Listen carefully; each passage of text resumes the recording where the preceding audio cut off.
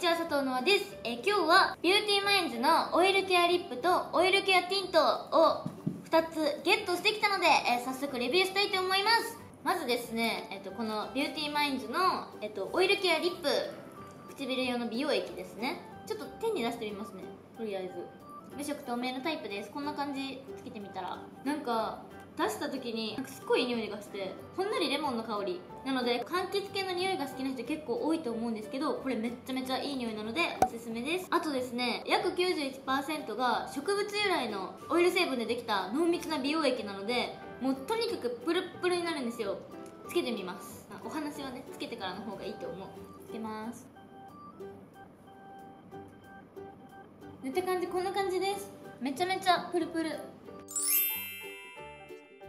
これ美容液なので寝る前に塗って寝ても朝プルプルになってめちゃめちゃいいと思います。あ書いてる。日中のケアだけでなく夜寝る前のケアにもお使いいただけますって書いてるのでえっと寝る前とかにもぜひ使ってみてください。すごいうるうるなんですけどベタベタしてなくて私ベタベタのリップがあんまり得意じゃないんですけどこれはあんまりベタベタしないので結構使いやすいと思います。すごいなんか植物由来のオイルってさっき言ったんですけどあんず角油マンゴー種子油アーモンド油ヘーゼルナッツ油ホホバ種子油なんかめっちゃ体に良さそうなものたちが集まってるのでぜひ皆さん使ってみてください。次はこっちですね。色付きの方ビューティーマインズオイルケアティント03ラズベリーピンクです。名前がもう可愛いラズベリーピンク。とりあえず手に出してみます。声がやばい。あー。あ結構しっかり色出るかも。見て。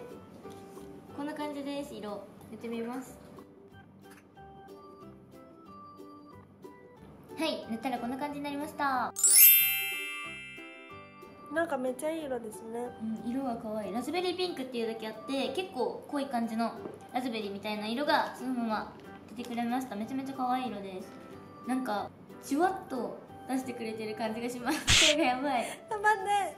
じゅわっと血色感が出る色だと思います。めちゃめちゃ可愛い色だと思います。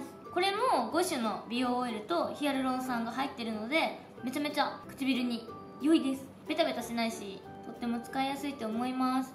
色持ちもすごいいいみたいであとこれは塗った後しばらくすると発色がだんだん良くなっていくらしいんですよだから時間でその色を楽しめると思います。もともとすぐ塗った色でもめちゃめちゃ発色いいんですけど。と思います。はい、えー今日はビューティーマインズのオイルケアリップとオイルケアティントの初見レビューでした。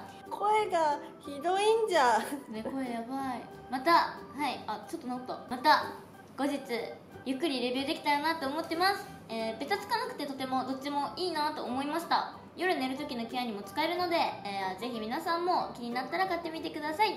ということで佐藤のあでした。バイバーイ。